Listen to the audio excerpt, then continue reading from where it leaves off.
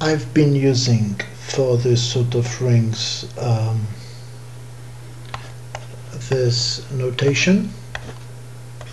Okay.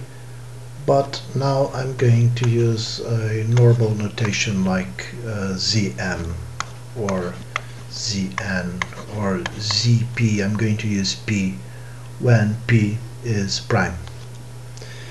So all these uh, uh, rings they are all commutative rings okay? But um, if P is prime uh, so this commutative ring it's not only a commutative ring it's also a integral domain okay? You can check the previous videos for all this okay? So I'm going to switch notation now because this might take a bit long or I might forget and write simply this way okay? So when now I write this please remember this is a commutative ring okay? And uh, this will be a domain. So now we are going to check uh, an example let us say we have uh, this f of r and so this will be all the functions from the reals to the reals okay? And we are going to so this is the set of four functions okay that take from real numbers to real numbers. And we are going to uh, equip this set with two operations, the pointwise addition and pointwise uh, multiplication.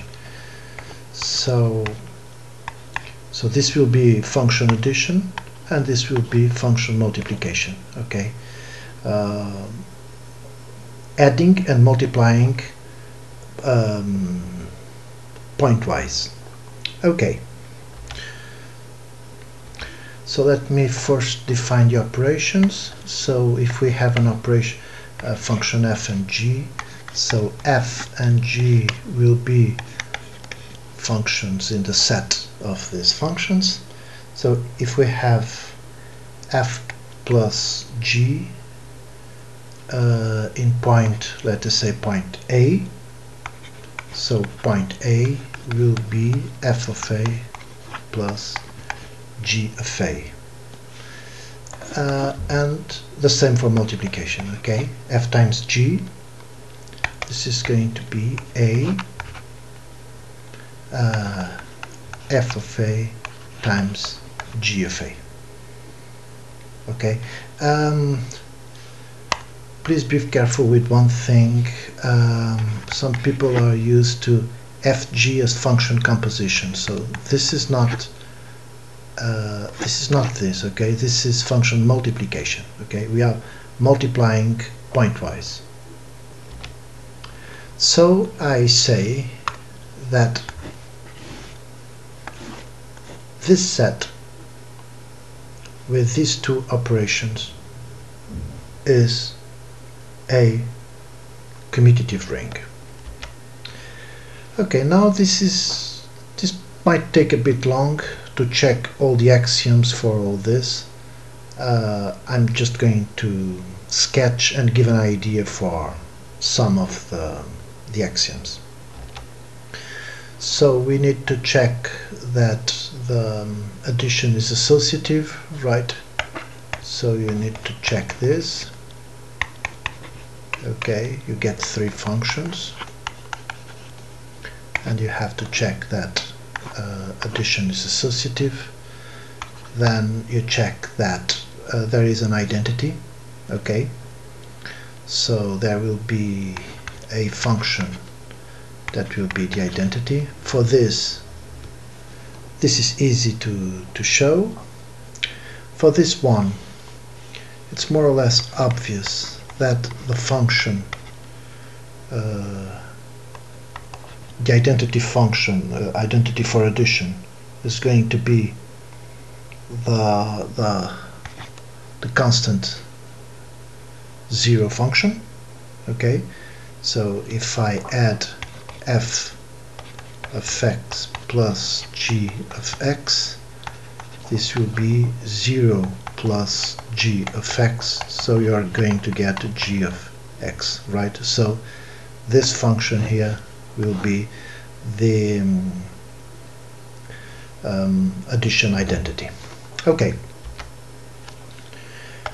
Then you check inverses and for multiplication. So you check um, associativity and then uh, the um, uh, identity for multiplication obviously is going to be the function let us say g1 of x is going to be the constant function 1 so it's very easy to check that this set of functions under these operations they are a commutative ring. Now the question is is this set under these operations also a, an integral domain? This is one of those questions that you should really stop the video and try to think if this is an integral domain. Um, so let me remind you what an integral domain here is. You need f of g. When you multiply two functions they can only be 0 if f is 0 or g is 0 right? If this doesn't happen you have zero divisors and it's not an integral domain okay so in function multiplication can you multiply two functions and get 0 without any of it being 0 Okay, please try to think about it. Okay, let us see. Let us pick two functions. Let us say we have a function here, f of a, that is a for a smaller or equal than 0 and 0 for a um, uh, bigger than 0 okay? And let us pick another function g let us say g of a okay? And let us say that this one is the opposite is um, 0 for a smaller than 0 and um, a for a bigger than 0 I, I should I should write I'm going to write uh, sorry I'm going to replace all this by x.